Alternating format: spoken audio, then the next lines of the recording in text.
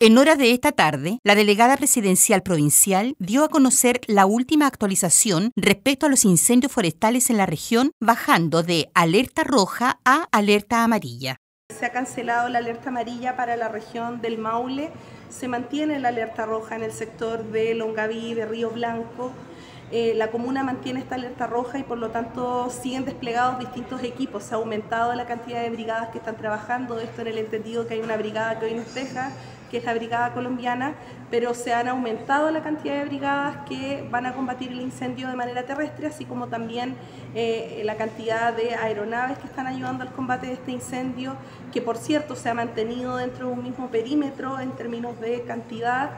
Eh, no obstante, sabemos lo, profundo y lo grave que es hoy día que se esté afectando el bosque nativo, pero también señalar que no tenemos viviendas afectadas aún, ni personas que han sido afectadas gravemente por este incendio. Con esta última actualización solo mantiene en alerta la comuna de Longaví en el sector de Río Blanco, en donde aún hay personal combatiendo las llamas.